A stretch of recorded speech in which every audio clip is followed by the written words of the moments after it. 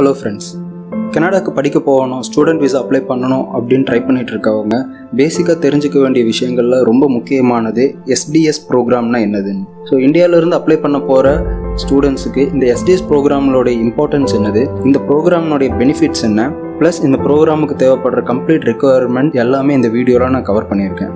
கடைசி வரைக்கும் இந்த வீடியோவை ஸ்கிப் பண்ணாமல் பாருங்கள் வீடியோ பிடிச்சிருந்துச்சுன்னா லைக் பண்ணுங்கள் ஷேர் பண்ணுங்கள் கமெண்ட் பண்ணுங்கள் மறக்காமல் சப்ஸ்கிரைப் பண்ணுங்கள் பெல் ஐக்கானை கிளிக் பண்ணி ஆல் நோட்டிஃபிகேஷனையும் எனேபிள் பண்ணிக்கோங்க. இன்ஃபோபல் சேனல்ல இருந்து நான் உங்கள் நண்பன் ஆஷிக். வாங்க இப்போ வீடியோக்குள்ளே போகலாம்.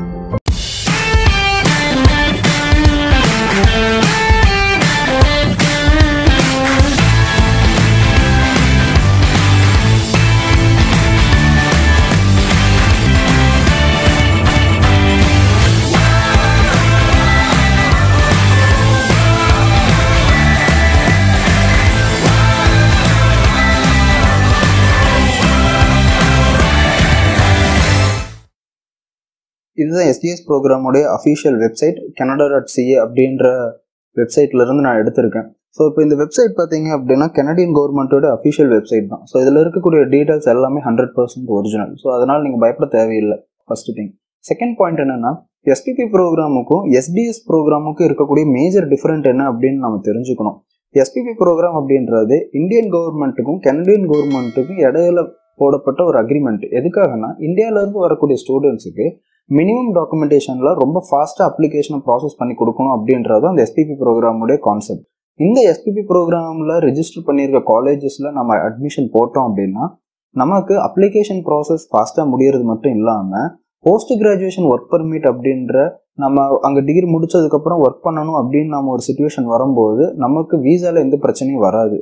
இன்னொன்று நம்ம சூஸ் பண்ணுற காலேஜஸ் எதுவாக வேணால் இருக்கலாம். ஃபீஸ் ஸ்ட்ரக்சர் அப்படின்றது நமக்கு ரொம்ப கம்ஃபர்டபுளான ஜோனில் தான் இருக்கணும் அப்படின்றது தான் இந்த எஸ்பிபியில் இருந்த மெயின் கான்செப்ட்ஸ் இந்த கான்செப்டை வச்சுக்கிட்டு மொத்தமாக ஒரு நாற்பத்தி ஏழு காலேஜ் மட்டும்தான் ரன் பண்ணிட்டு இருந்தாங்க.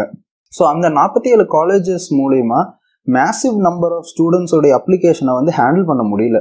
அதனால தான் வந்து எஸ்டிஎஸ் அப்படின்ற ஸ்ட்ரீமை உள்ளே கொண்டு வராங்க. இந்த எஸ்டிஎஸ்ங்கிற ப்ரோக்ராமுக்கு கீழே more than thousand four hundred colleges இருக்கிறதுனால எவ்வளோ பெரிய நம்பர் ஆஃப் ஸ்டூடெண்ட்ஸோட அப்ளிகேஷன் உள்ளே வந்தாலும் அவங்களால ஈஸியாக ப்ராசஸ் பண்ண முடிஞ்சுது. இப்போது இந்த வெப்சைட்டில் பார்த்தோம்னா ஃபர்ஸ்ட் திங்கே வந்துட்டு இந்த ப்ராசஸ்னுடைய டோட்டல் அவுட்லுக் என்ன அப்படின்றது தெளிவாக போட்டிருப்பாங்க. ஏற்கனவே சொன்ன மாதிரி தான் எஸ்பிஎஸ் ப்ராசஸில் போகும்போது அப்ளிகேஷனோடைய ப்ராசஸிங் டைம் ரொம்ப ஃபாஸ்ட்டாக முடிஞ்சிடும் வெறும் இருபது ஒர்க்கிங் டேல முடிச்சு கொடுத்துட்றாங்க நான் சொல்கிறது நீங்கள் first day first time application போடுறது கிடையாது. டோட்டலாக எல்லாம் முடிச்சதுக்கப்புறம் உங்களுக்கு எல்லாம் முடிச்சுட்டு நான் வீசா ஸ்டாம்பிங்க்கு கொண்டு போய் கொடுக்கணும்.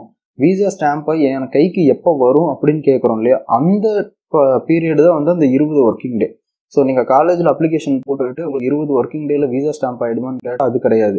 இந்த எஸ்டிஎஸ் ப்ரோக்ராமுக்கு கீழே நீங்கள் காலேஜுக்கு ரிஜிஸ்டர் பண்ணணும். அதுக்கு நிறைய ப்ராசஸ் இருக்குது அது எல்லாம் முடிச்சுட்டு ஃபைனலாக என்னுடைய வீசா ஸ்டாம்ப் பண்ணணும் அப்படின்னு நீங்கள் கொண்டு போய் எம்பசியில் வைக்கிறீங்களே அந்த டேட்டில் இருந்து மேக்ஸிமம் இருபது ஒர்க்கிங் டேக்குள்ளே உங்களுக்கு முடிச்சு கொடுக்கணும் அப்படின்றது தான் இந்த எஸ்டிஎஸ் ப்ரோக்ராமோடைய பியூட்டியே இதில் என்னென்ன பாயிண்ட்ஸ் இருக்குது அப்படின்னா ஃபஸ்ட்டு எஸ்டிஎஸ் அப்ளிகேஷன் வந்து இருபது கேலண்டர் ஒர்க்கிங் டேல முடிச்சு கொடுத்துட்றாங்க செகண்ட் பாயிண்ட் இதில் யார் யார் அப்ளை பண்ணலாம் அப்படின்னு கேட்டோம்னா இப்போ இதில் பார்த்தாலே தெரியும் eligibility ரிக்குவயர்மெண்ட்ஸில் so India China Morocco Pakistan Philippines Senegal Vietnam இந்த கண்ட்ரீஸ்லேருந்து வர ஸ்டூடெண்ட்ஸ் எல்லாருமே அப்ளை பண்ணலாம். அடுத்தது acceptance letter from a post secondary DLI institution இந்த டிஎல்ஐ இன்ஸ்டிடியூஷன் அப்படின்றது என்னன்னா இப்போ நாம் ஒரு காலேஜ் அப்ளை பண்ணுறோம் ஃபார் எக்ஸாம்பிள் இங்கிருந்து சென்டினல் காலேஜுக்கு நம்ம அப்ளை பண்ணுறோம் அப்படின்னா அந்த சென்டினல் காலேஜுக்குன்னு சொல்லி டிஎல்ஐ நம்பர் அவங்களே வச்சுருந்துருப்பாங்க. அவங்க அந்த நம்பர் இருந்தால் மட்டும்தான் இன்டர்நேஷ்னல் ஸ்டூடெண்ட்ஸை அவங்களால உள்ளுக்குள்ளே கொண்டு வர முடியும். ஸோ அந்த மாதிரி டிஎல்ஐ நம்பர் வச்சிருக்கிற இன்ஸ்டியூஷன்ல இருந்து நாம அக்செப்டன்ஸ் லெட்டர் வாங்கணும். அக்செப்டன்ஸ் லெட்டருங்கிறது நத்திங் பட் அட்மிஷன் லெட்டர் நம்ம வாங்கணும். அதுக்கப்புறம் நாம விசா அப்ளை பண்ணும்போது நம்ம கனடாக்குள்ளே இருக்கக்கூடாது வெளியிருந்து அப்ளை பண்ணணும். பிகாஸ் அப்போதான் இன்டர்நேஷனல் ஸ்டூடெண்ட்ற கான்செப்டில் வரும். அடுத்தது ஃபர்ஸ்ட் இயருக்கான அகாடமிக் ஃபீஸை நம்ம ஃபுல்லாக பே பண்ணணும். இப்போ ஒன் இயர் கோர்ஸ் அப்படின்னு சொன்னால் ஒன் இயரோட என்டையர் ஃபீ டூ இயர் கோர்ஸ்னா ஃபர்ஸ்ட் இயரோடைய ஃபீஸை நம்ம பே பண்ணணும். அடுத்தது ஜிஐசி நம்மளுடைய லிவிங் எக்ஸ்பென்ஸுக்காக டென் தௌசண்ட் கெனடியன் டாலர்ஸை நம்ம காட்டணும். அதுக்கப்புறம் மெடிக்கல் எக்ஸாம்ஸ் நம்ம கிளியர் பண்ணணும். மெடிக்கல் டெஸ்ட் நம்ம எடுக்கணும். அப்புறம் போலீஸ் கிளியரன்ஸ் நம்ம எங்கே இருந்தோமோ அந்த கண்ட்ரியிலேருந்து நம்ம போலீஸ் கிளியரன்ஸ் வாங்கணும். இப்போ இந்தியா அப்படின்னா நம்ம இந்தியாவிலேருந்து போலீஸ் கிளியரன்ஸ் வாங்கணும். அடுத்தது ஐஎல்ஸ் இப்போ அந்த ஐஎல்ஸ் பற்றி பேசும்போது ஐஎல்ஸில் ரெண்டு டைப் இருக்குது. ஒரு ஃபஸ்ட்டு டைப் என்ன அப்படின்னா காலேஜ் கேட்குற மினிமம் ரிக்குவயர்மெண்ட் விசா ஸ்டாம்பிங்க்கு தேவைப்படுற மினிமம் ரிக்குவயர்மெண்ட் இப்போ காலேஜுக்கு வந்துட்டு நீங்கள் பேஜில் இருக்கக்கூடிய ரெக்குவயர்மெண்ட்ஸ் பார்த்தீங்க. இப்போ கோர்ஸ் பேஜில் இருக்கக்கூடிய ரெக்குவயர்மெண்ட்ஸ் பார்த்தீங்க அப்படின்னா அவங்க minimum five point five accept பண்ணிப்பாங்க. மினிமம் சிக்ஸ் அக்செப்ட் பண்ணிட்டு ஒன் பேண்ட் ஒரு two band five point five இருந்தால் நாங்கள் அக்செப்ட் பண்ணிப்போம். ஓவரால் சிக்ஸ் கொடுத்தா போதும். இந்த மாதிரி எல்லாம் காலேஜோட ப்ரோக்ராம் பேஜில் போட்டிருப்பாங்க. பட் விசா ஸ்டாம்பிங் டைமில் போனீங்க அப்படின்னா உங்களுக்கு ஃபைவ் பாயிண்ட் ஃபைவ் பேண்ட் இருக்கிறதுனால விசா ஸ்டாம்ப் பண்ண முடியாதுன்ற பிரச்சனை வரலாம். So overall six point five no band less than six அப்படின்றது சேஃபர் ஜோன் எய்தர் நீங்கள் காலேஜுக்கு அப்ளிகேஷன் போடுற மாதிரி இருந்தாலும் சரி அப்ளிகேஷன் போட்டு உங்களுக்கு அங்கேருந்து அட்மிஷன் கிடைச்சதுக்கப்புறம் விசா ஸ்டாம்பிங்க்கு போகும்போது இருந்தாலும் சரி minimum overall six point five no band less than six அப்படின்றது சேஃபர் சைடான ஒரு ஸ்கோர் அந்த ஸ்கோர் எடுக்கிறதுக்கு நம்ம முடிஞ்ச வரைக்கும் ட்ரை பண்ணணும். அடுத்தது நான் ஏற்கனவே சொன்னது தான் அந்த ஃபர்ஸ்ட் இயருக்கான ஃபீஸ் வந்து நம்ம பே பண்ணணும். டிஎல்ஐ இன்ஸ்டியூஷன்ல இருந்து நம்ம வாங்கணும். டிஎல்ஐ இன்ஸ்டியூஷன்னா நீங்க ரொம்ப கன்ஃபியூஸ் பண்ணிக்க வேண்டாம். டிஎல்ஐ அப்படின்றது நம்ம எந்த காலேஜ் அப்ளை பண்றோமோ அதை தான் டிஎல்ஐ அப்படின்னு குறிப்பிடுறாங்க. கனடாவில் இருக்கக்கூடிய மெஜாரிட்டி ஆஃப் காலேஜஸ் எஸ்பெஷலி இந்த எஸ்டிஎஸ் ப்ரோக்ராமுக்கு கீழே வர மெஜாரிட்டி ஆஃப் காலேஜஸ்க்கு டிஎல்ஐ நம்பர் இருக்குது ஸோ அதை பற்றி நம்ம வரி பண்ணிக்க தேவையில்லை. எனக்கு நம்ம கனடா அப்படின்னு போகும்போதே வந்து நாங்கள் டார்கெட் பண்ணி ஒர்க் பண்ணுறதே நல்ல டாப் அண்டு ஹை அண்டு இருக்கக்கூடிய காலேஜ் யூனிவர்சிட்டிஸுக்கு தான் நம்ம ஒர்க் பண்ணுவோம். அப்படி இருக்கிற பட்சத்தில் அந்த காலேஜ் யூனிவர்சிட்டி கண்டிப்பாக டிஎல்ஐ நம்பர் வச்சுருப்பாங்க. அதனால் எந்த பிரச்சனையும் வராது.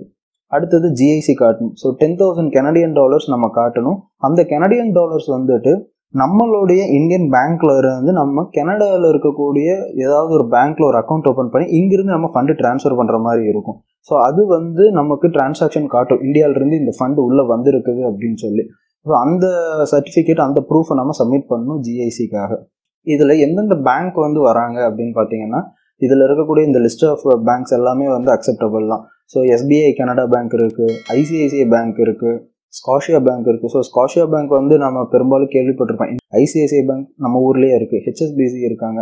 ஸோ இந்த மாதிரி நமக்கு ரொம்ப ஃபெமிலியரான பேங்க்லேயே நாம் அக்கௌண்ட் வச்சுக்கிறதுங்கிறது ரொம்ப நல்லது. ஸோ ஃபண்டு டிரான்ஸ்ஃபருக்கும் அது நமக்கு யூஸ்ஃபுல்லாக இருக்கும்.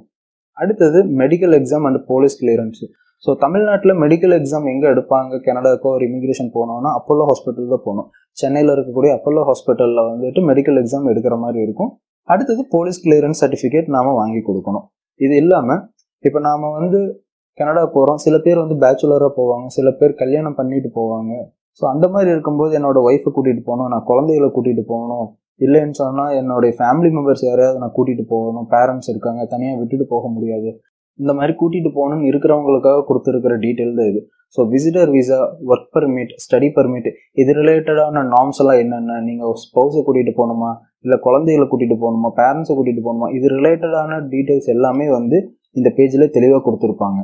அடுத்தது ஹவு டு அப்ளை ஸோ இந்த student permit through SDS process கீழே எப்படி அப்ளை பண்ணணும் அப்படின்றதையும் இதில் கிளியராக கொடுத்துருக்காங்க. ஸோ இது இப்போ ஃபார் எக்ஸாம்பிள் இங்கே பாருங்கள் இன்ஸ்ட்ரக்ஷன் வேணும் அப்படின்னு கேட்டிருக்குது. இப்போ இந்த இன்ஸ்ட்ரக்ஷனில் நான் இந்தியான்னு சூஸ் பண்ணுறேன் அதாவது நான் இந்தியாவிலேருந்து அப்ளை பண்ணுறேன் அப்படின்னு நான் சூஸ் பண்ணேன்னா எனக்கு அடுத்த ஸ்டெப் நான் என்ன பண்ணணும்? இந்தியன் ரெசிடெண்ட்டாக இருக்கேன். நான் அடுத்தது என்ன பண்ணணும் அப்படின்றது தெளிவாக போட்டிருக்காங்க. ஸோ இதுபடி நம்ம ஃபாலோ பண்ணாலுமே நமக்கு ரொம்ப ஈஸியாக ப்ராசஸ் முடிஞ்சிடும் நம்ம யாரையுமே டிபெண்ட் பண்ணி இருக்கணுன்ற அவசியம் கிடையாது. ஒன்ஸ் இது எல்லாமே முடிச்சிட்டிங்க அப்படின்னா கடைசியாக நீங்கள் என்ன பண்ணணும் அப்படின்றதையும் இதுக்கு கீழே கொடுத்துருக்காங்க. நீங்கள் ஒன்ஸ் அப்ளை பண்ணி முடிச்சிட்டிங்க உங்களுக்கு எல்லா ப்ராசஸும் முடிஞ்சிருச்சு அப்படின்னா நீங்கள் பயோமெட்ரிக் வைக்கணும். ஸோ அந்த பயோமெட்ரிக் முடிச்சதுக்கப்புறம் ஸ்டூடெண்ட் விசா ப்ராசஸ் முடி பண்ணுவாங்க. அந்த விசா ப்ராசஸ் பண்ணி முடித்தோடனே உங்களுக்கு இடிஏ கிடைக்கும். இடிஏனா எலக்ட்ரானிக் ட்ராவல் ஆத்தரைசேஷன் சிம்பிளாக சொல்லணும்னா டிக்கெட்னு சொல்லலாம். டிக்கெட் இந்த சென்ஸ் ஃப்ளைட் டிக்கெட் கிடையாது.